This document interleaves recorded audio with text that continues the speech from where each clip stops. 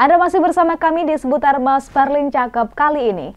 Pemirsa KPU Kabupaten Kebumen tetapkan jumlah DPT pada Pilkada serentak tahun 2024 sebanyak 1.077.299 pemilih. Setelah ditetapkan, data ini akan menjadi dasar dalam menyiapkan kebutuhan logistik hingga penghitungan suara di TPS.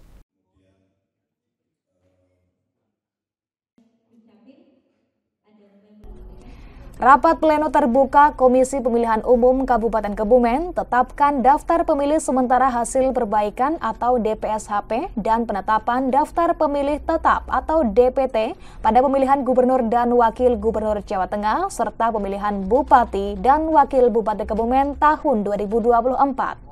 Pada rekapitulasi yang diikuti oleh para penyelenggara tingkat kecamatan dan tim pemenangan bakal calon bupati dan wakil bupati, KPU Kebumen tetapkan jumlah yang tersebar di 1187 TPS dari 460 desa atau kelurahan sebanyak 1.077.299 yang terdiri dari laki-laki 543.072, perempuan 534.227 pemilih. Ketua KPU Kebumen Zakiatul Banat menyampaikan bahwa tahapan pemutakhiran data sampai saat ini sudah ditetapkannya DPT, yang nantinya data ini akan menjadi dasar penyiapan kebutuhan logistik pilkada hingga penghitungan suara. Menurut Banat, DPT yang ditetapkan dalam Pilkada Kebumen 2024 merupakan data yang dinamis, sehingga data tersebut terus ada pemeliharaan, baik itu pemilih masuk, keluar, ataupun yang meninggal dunia akan selalu diupdate.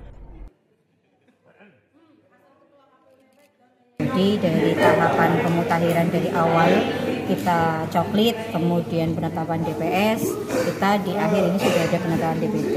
Ini harapannya data ini menjadi data uh, untuk kami tentunya untuk melakukan proses tahapan selanjutnya dari logistik untuk persiapan pengusuran ke depan. Demikian. Total yang ditetapkan berapa? Tadi 1.077.299 ya nanti kan kalau kita DPT pada saat sudah kita tetapkan kan berarti itu kan menjadi dasar kita untuk uh, terkait logistik. Karena kita kan langsung ke logistik nanti surat suara tentunya dengan DPT plus dua per dua setengah persennya seperti itu. Tetapi itu tidak menutup uh, proses di kami untuk pemeliharaan dari DPT karena ya tadi saya sampaikan dinamis itu kan berarti nanti akan ada nanti pemilih masuk kemudian uh, pemilih yang keluar meninggal dunia. Dan ini PR-nya adalah pasca ini adalah kita nanti untuk pemilih pindah pemilih pindah ini uh, yang tadi mungkin disampaikan oleh salah satu perwakilan dari pasangan bakal pasangan calon itu adalah terkait kita akan konsentrasi terkait pemilih yang ada di pondok pesantren juga. Uh, itu yang menjadi nanti titik-titik yang tentunya saya kita rasa menjadi titik krusial juga bagi teman-teman pemilih yang ada di pondok pesantren